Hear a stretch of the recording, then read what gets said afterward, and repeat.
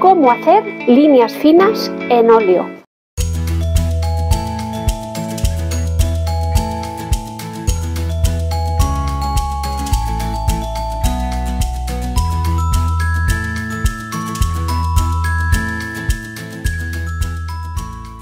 Hola, bienvenidos una semana más a este canal Pasión por el Arte.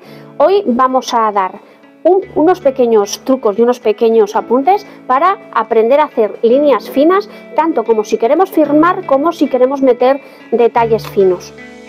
Tres puntos. Tenemos que usar dos tipos de pinceles. Normalmente me pedís y me preguntáis, mira Susana, no me salen las líneas finas, me salen súper gordas y cuando firmo o quiero hacer una línea y hacer un remate, no me sale porque no hay manera de hacer la línea.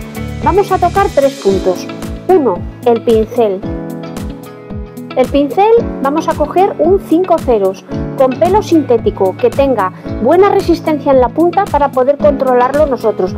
O sea, en una palabra, que al apretar un poquito no se nos abra porque de esa manera no hay manera de controlar el pelo. Punto número uno, podemos hacerlo con este o podemos hacerlo con uno plano poniéndolo de canto, pero el plano tiene que ser nuevo para que no esté desgastado ni esté abierto. Punto 2 la dilución de la pintura. Por lógica y sentido común, normalmente cogemos la pintura espesa del tubo.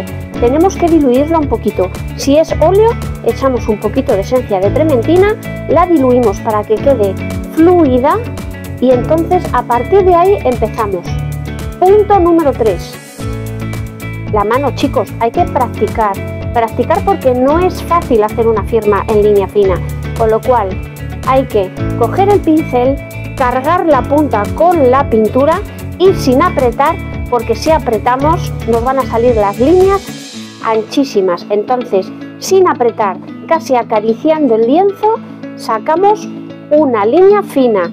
Además, hemos cogido el pincel de 5 ceros y hemos dejado la pintura fluida para que nos diluya y esté un poquito líquida para que nos salga esa línea tan fina. Tenemos la pintura recién sacada del tubo y lo que hacemos es echar unas gotitas de diluyente de esencia trementina o aguarras porque veis, veis cómo queda fluida la pintura.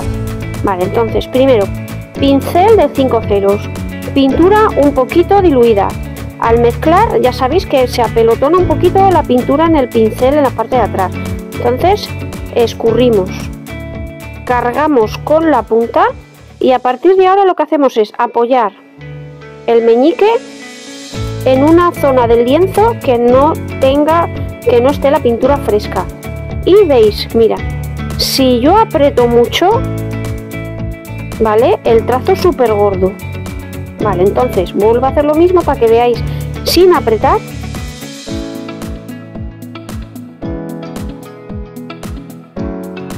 Sale el trazo más fino. ¿Vale? Lo que pasa es que hay que pillarle un poquito el punto e intentar hacerlo lo más ligero posible. Y lo más suelto.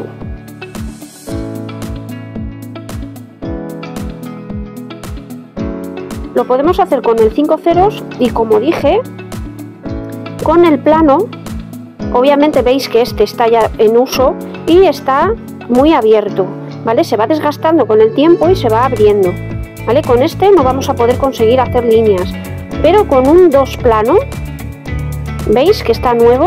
La resistencia en la punta es la idónea, hacemos lo mismo, cargamos la punta,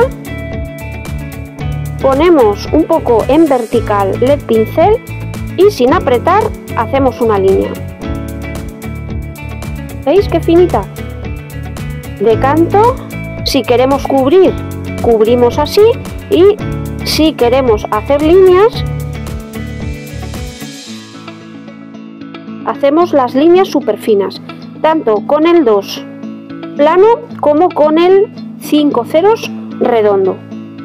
O sea, tres puntos, acordaros. Y no es que sea difícil, lo que pasa es que siempre hasta que le pilla uno un poquito el punto y el truco, es relativamente un poquito complicado, pero venga, animaros a practicar un poquito las líneas finas en casa porque en realidad siguiendo estos tres pasos las, lo podéis conseguir fácilmente.